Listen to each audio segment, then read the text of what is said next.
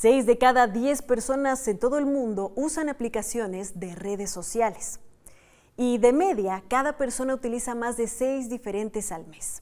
Facebook encabeza el ranking en 2024 con aproximadamente 3 mil millones de usuarios activos mensuales. Así es como estas impactan en el cerebro. Si experimentas ansiedad al imaginar un mundo sin Instagram, es posible que padezcas cierta adicción a las redes sociales.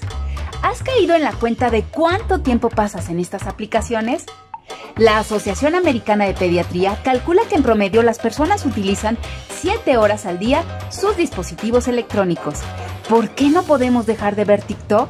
Este tipo de videos cortos nos distraen, divierten o ilustran y su particularidad es que activan el sistema de recompensa integrado por diferentes áreas del cerebro, provocando la liberación de dopamina, conocida como la hormona de la felicidad, y dejándonos una sensación placentera.